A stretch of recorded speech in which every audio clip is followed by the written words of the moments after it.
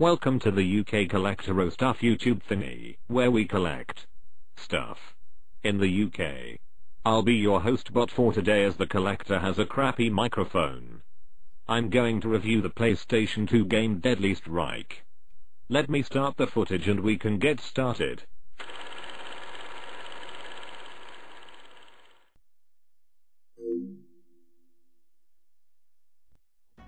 When I first played this game I thought it was pretty crap. You can't jump. You can't grab. You can't throw.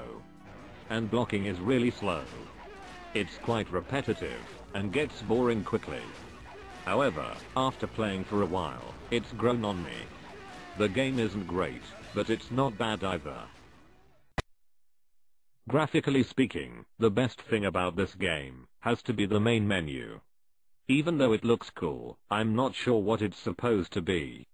Maybe it's a time warp thingy, that would explain why Rockstar is fighting with a broadsword in a shogun's castle. If the rest of the game looked as good as the main menu, things might have been different. As far as the gameplay goes, all you do is hack and slash until you get to the boss. You beat him, and then hack and slash until you get to the next boss. Think Double Dragon, but less cooler. The only redeeming quality to the gameplay is that you get to use a gun. That's right. Everybody has a different gun, with different strengths and weaknesses. So while your enemy is laying on the floor, you can school him on bringing a knife to a gunfight. What else is there to talk about? Oh yeah, you only have 6 characters. 2 all-rounders. 2 that are fast but not strong. And 2 that are strong but not fast. After you beat a boss, you can choose which path you want to take to get to the next boss. Each path is a different difficulty with different scenery. The sceneries are pretty nice looking. Think King of Fighters, but with way less movement.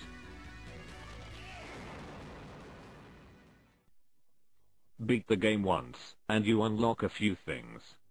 The gallery, which gives you a bit more information on the characters. It also shows you how crappy the characters look compared to what they were supposed to look like.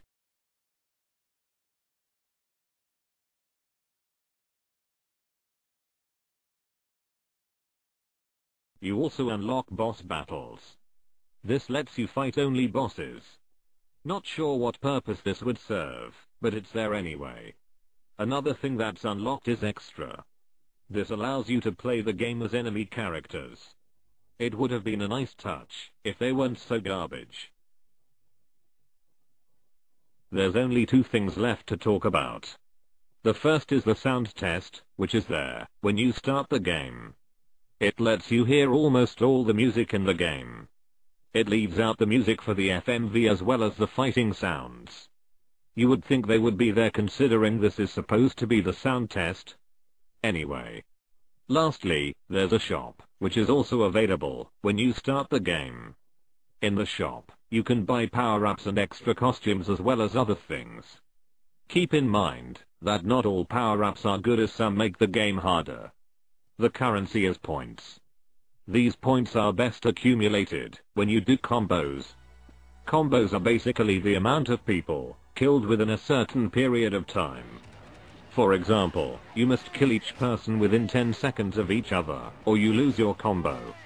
The best place for combos are in the survival mode where you fight a non-stop barrage of enemies. In story mode, your combo will always end when you fight the boss, because it takes much longer than 10 seconds to kill him. I give this game a 1 out of 5. There are very few things good about the game, and it could have been much better.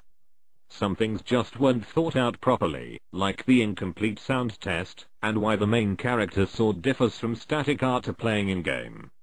In the end, this is one of those games that has some good ideas, but fails when it comes to delivering them properly.